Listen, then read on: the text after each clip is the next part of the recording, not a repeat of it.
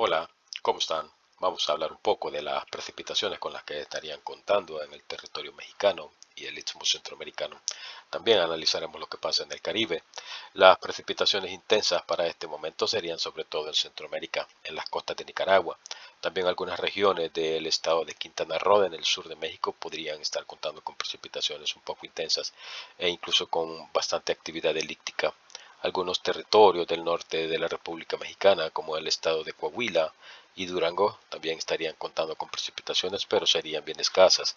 En el norte, tanto el noroeste estadounidense como el suroeste canadiense continúan teniendo problemas con los ríos atmosféricos y las intensas precipitaciones.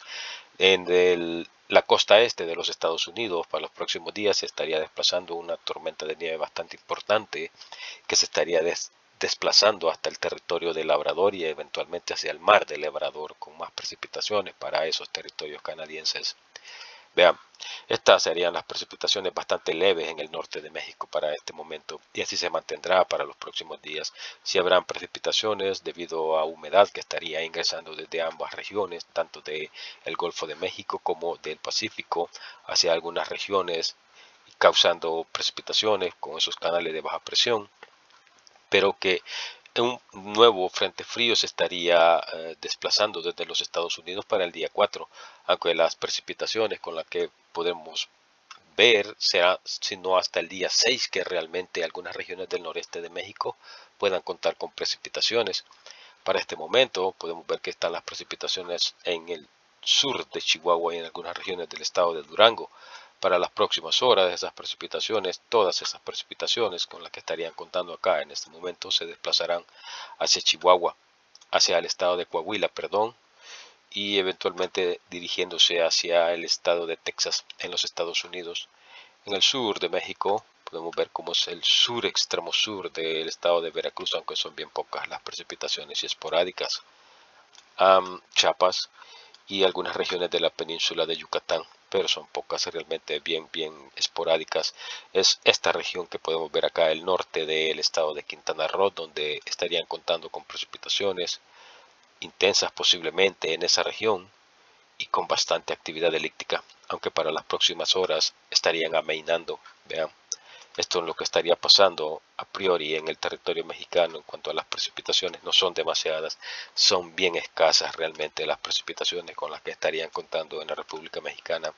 Algunas regiones del norte de Guatemala, la costa norte hondureña y sobre todo las costas nicaragüenses. Es allí donde realmente estarían contando con precipitaciones bastante intensas, bastante fuertes en el territorio centroamericano.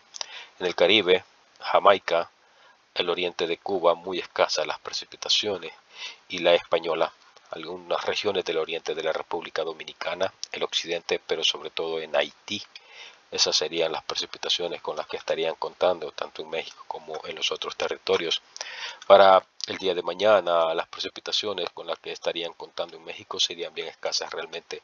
Es sobre todo Nicaragua donde podemos ver que para el día de mañana estas precipitaciones que podemos ver acá se estarán desplazando para las costas de Nicaragua, trayendo precipitaciones posiblemente bastante intensas. Vean que para mañana, sobre todo nubosidad para el noreste de México y algunas esporádicas precipitaciones para algunos territorios de la República Mexicana, tanto estas regiones cercanas a Veracruz, en el sur posiblemente Oaxaca y Chiapas, en Guatemala, Belice, pero sobre todo Nicaragua para el día de mañana, es donde realmente espera precipitaciones bastante fuertes, posiblemente intensas para la tarde, la costa norte hondureña, Costa Rica y Panamá también, estarían contando con precipitaciones. Verán, si nos desplazamos para el día 4, veremos como un posible nuevo frente frío se avecine hacia el noreste de la República Mexicana. Sin embargo, no podemos ver ninguna precipitación que estaría dejando para este territorio del noreste de la República Mexicana. Tendremos que desplazarlos hasta el día 6. Vean, es hasta el día 6 que realmente podemos ver cómo un frente frío se estará desplazando hacia el Golfo de México y eventualmente trayendo algunas precipitaciones para el estado de Tamaulipas, posiblemente Nuevo León y algunas regiones de Coahuila pero tendríamos que desplazarnos hasta el día 6 sin embargo, no parece que, fueran, que fuesen precipitaciones realmente importantes, porque si analizamos las próximas para los próximos días la acumulación de precipitaciones nos damos cuenta de que prácticamente para los próximos tres días no aparece absolutamente nada en esta región ni en el noroeste es sobre todo acá en estas regiones del sur de México donde aparece alguna precipitación. Si lo analizamos para los próximos cinco días es prácticamente lo mismo muy esporádicas las acumulaciones e incluso para los próximos 10 días vean es muy poca la precipitación. Para los próximos 10 días nos muestra que alguna leve precipitación posiblemente sea sobre todo para el estado de Sonora y el estado de Chihuahua en el sur, para algunas regiones esporádicas de Oaxaca y algunas regiones del estado de Veracruz. Es sobre todo en Centroamérica, como podemos ver acá, Panamá, Costa Rica, Nicaragua y algunas regiones de la costa norte hondureña, donde realmente es, posiblemente sean estas regiones donde cuenten con precipitaciones intensas para los próximos días. La República Dominicana, Puerto Rico, las Antillas Menores y algunas regiones del oriente de la isla de Cuba. Pero como podemos ver, los próximos frentes fríos más inmediatos aparentemente no estarían trayendo mucha precipitación para la República Mexicana. Sí que posiblemente cuenten con precipitaciones debido a esos canales de baja presión y humedad que estaría ingresando tanto del Golfo de México como de el Pacífico para estas regiones de el noroeste de la República Mexicana, pero por lo demás realmente las precipitaciones con las que estarían contando o con las que podrían contar para los próximos días en México no serán demasiadas. Sí que lloverá, pero no muy intensamente. Por otra parte, si analizamos las nevadas, como estábamos comentando, verán que en este radar podemos ver un poco, tenemos una perspectiva un poco más clara, vean, todas estas regiones que podemos ver acá en Quebec, debido a todas esas precipitaciones y hay más en camino como podemos ver acá, prácticamente todos los territorios del sur de Canadá contando con precipitaciones y estas son leves. Hasta hace algunos días las precipitaciones en forma de nieve que estaban con las que estarían contando o estaban contando en estas regiones del sur, los territorios del sur de Canadá, eran realmente impresionantes. Esto no es nada. Fue impresionante como hace algunos días todos esos territorios del sur de Canadá estaban contando con unas nevadas impresionantes. Otra de las regiones que podrá contar con precipitaciones próxima, para los próximos días posiblemente bastante importantes es el territorio español.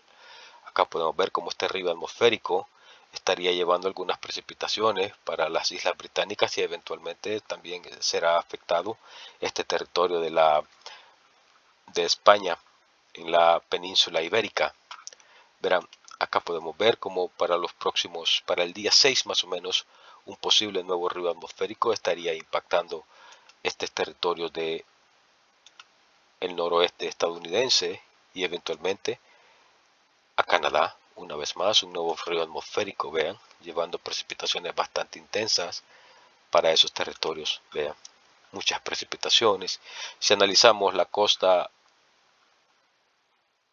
este, acá podemos ver también cómo será el desplazamiento de esas precipitaciones bien intensas. Desde el sureste de los Estados Unidos se desplazarán precipitaciones que causarán nevadas realmente importantes para estas regiones de Labrador, Canadá, y eventualmente se estarían desplazando algunas de estas para el mar de Labrador. Acá podemos ver cómo ese río atmosférico estaría impactando España para el día 3, 4, vean, Acá ya para el día 4 habrían precipitaciones bien importantes para ese territorio español en Europa. Y uno más para el día 6 más o menos. Más precipitaciones posiblemente en forma de nieve para el territorio de la península ibérica. Muchas precipitaciones importantes para Europa para los próximos días. Vean, acá podemos ver como uno tras otro para los próximos días estarán impactando sobre todo ese territorio de la península ibérica en Europa. Vean, impresionante las precipitaciones futuras, sobre todo para esta región. Este, estas pocas precipitaciones con las que estarían contando en el norte de México y el sur de los Estados Unidos es debido en parte a ese fenómeno natural de la niña, que es sobre todo para estos momentos, vemos como es el sur de Canadá y esta región de los Estados Unidos que estaría generando más precipitaciones y esta región supuestamente tendría que ser la que menos precipitaciones reciba debido a ese efecto, a ese fenómeno meteorológico de la niña. Ya veremos si la situación cambia para los próximos días, pero por el momento es las precipitaciones bastante escasas con las que estarían contando en México y así se mantendrá para los próximos días. Ya veremos qué sucede vamos a ir actualizándolo cuando lo creamos conveniente porque realmente no está sucediendo demasiado. Cuando se active un poco más, lo seguiremos actualizando. Que estén bien. Hasta pronto.